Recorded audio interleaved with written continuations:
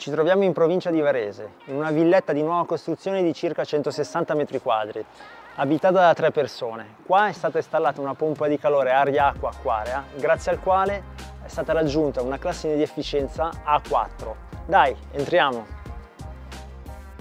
La pompa di calore installata è un modello splittato di taglia 12 kW nominali, abbinato ad un pavimento radiante utilizzato sia per il riscaldamento invernale che per il raffrescamento estivo, durante il quale il sistema di ventilazione meccanica controlla e garantisce anche la deumidificazione.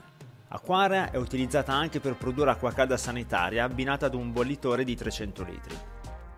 La caratteristica di questo impianto riguarda il posizionamento dell'unità esterna, in quanto si è deciso di installarla a più di 20 metri dal modulo idronico interno.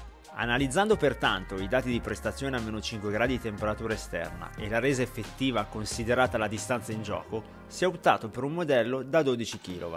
Dai dati sull'attestato di prestazione energetica leggiamo che l'edificio è in classe A4, con un consumo di energia non rinnovabile di 52,54 kWh al metro quadro annuo e un'emissione di CO2 ridotte di 11,67 kWh al metro quadro annuo. Panasonic